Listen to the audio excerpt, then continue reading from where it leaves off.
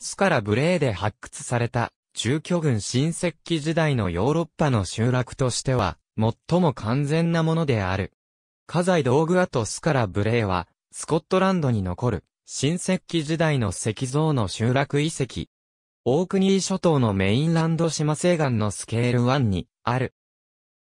10の密集家屋群からなり、紀元前3100年から紀元前2500年頃に定住生活が営まれていた。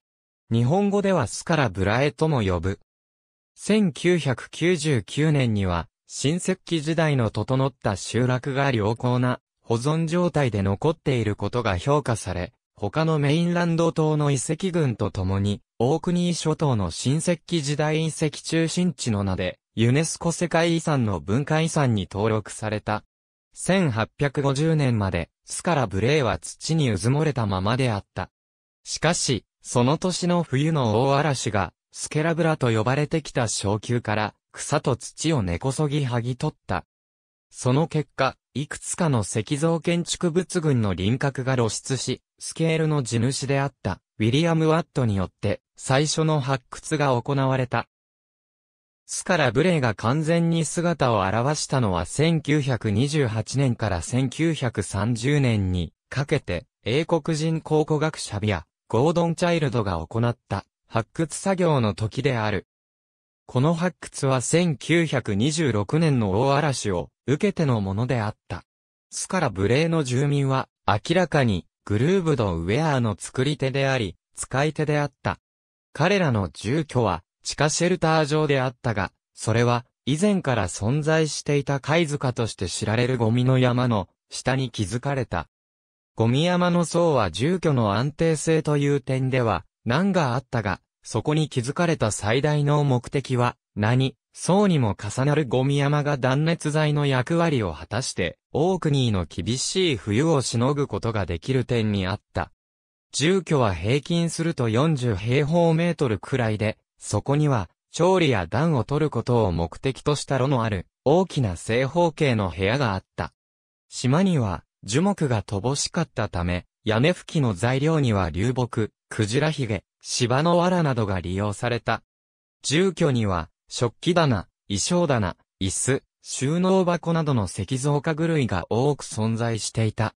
洗練された排水設備が集落の設計に組み込まれており、各住居には原始的な便所も据え付けられていた。住居群のうち7軒は同じような家具を備えており、寝台と衣装棚は各住居の同じ場所にある。その衣装棚は入り口の向かいの壁に据え付けられており、その住居に入った人が真っ先に目にするようになっている。8番目の家には収納箱も衣装棚もなく、中が小部屋に分かれている。この家が発掘された時、石、骨、枝角などの断片が出土した。そのため、この家は、石符や骨格機といった簡単な道具を製作していた作業場であった可能性が指摘されている。遺跡にはヨーロッパで最古とみなされる人のみの痕跡も見つかっている。